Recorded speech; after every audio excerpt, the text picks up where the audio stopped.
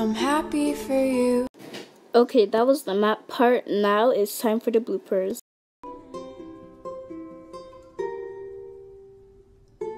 I'm happy for you.